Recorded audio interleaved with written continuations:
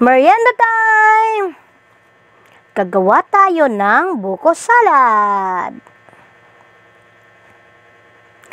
At ice candy.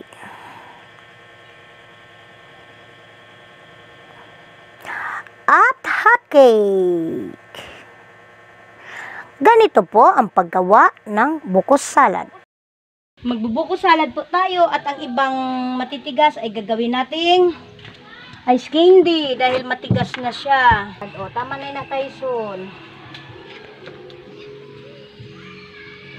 Siya nagsaka si Popo. Kudkurin natin ang buko. Ito ang tamang gagawing buko. Tamang-tama ang kanyang pagka buko. Hindi siya matigas. Yan. At ito ang kanyang mga ingredients. Buko, fruit cocktail, kaong, nata, Nestle cream, at ngayon ay ang ating gatas. Medyo masabaw kasi masabaw kanina ang buko. Hindi natin naubusin ang gatas. Kalahati lang kasi double siya. Dapat isang bote lang.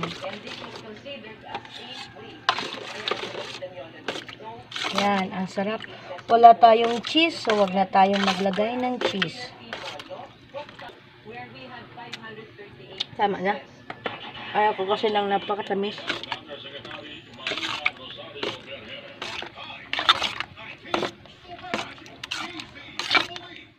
Lagay sa bote. Medyo masabaw siya kasi yung buko, mas, may sabaw kanina. Pero masarap, okay lang. Mas gusto ko din masabaw.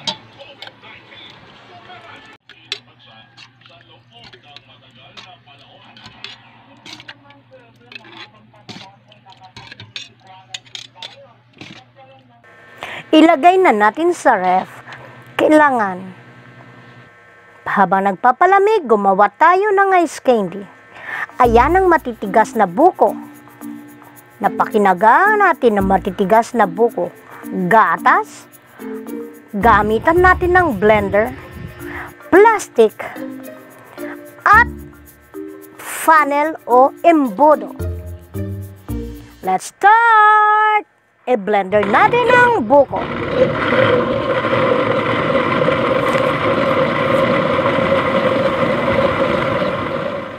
Ayan. Huwag kalimutang lagyan ng tubig pag blender.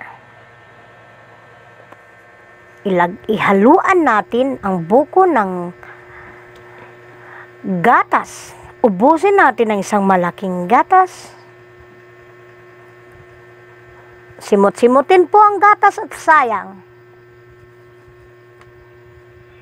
At lagyan ng tubig. Haluin. Mga mamshi, tips ko sa inyo, wag nang lagyan ng asukal ang ating ice candy. Kung puro gatas ang ice candy, mas masarap. At ito na. I-plastic na natin ang ice candy. Bumili tayo ng malaki-laking plastic kahit ang laman ay kalahati lang. Dahil kung pupunuin mo, ay malulugi ka. Kailangan nating kumita sa pag-ice candy. Ang puhunan natin kasama ang buko, siyempre, ay isandaan. Ayan, ganyan lang kaliit mga mamshi. O, paulit-ulit, paulit-ulit. Ayan, tag isang sandok lang para hindi sumobra. Ayan.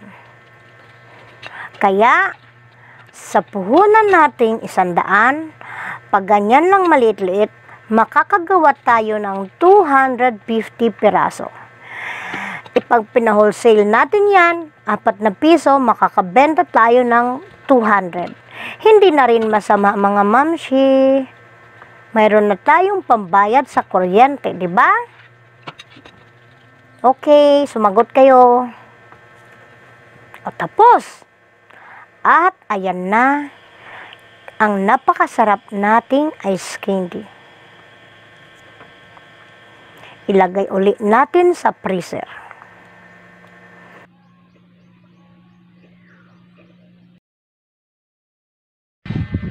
At ito na po ang aking buko salad na ginawa kahapon. Malamig na po siya dahil nilagay ko sa ref at ito po. Tingnan niyo po. Ang dami pong sahog, konti lang ang buko at man po natin. Mmm. Napakasarap po ng aking buko salad. Thanks for watching.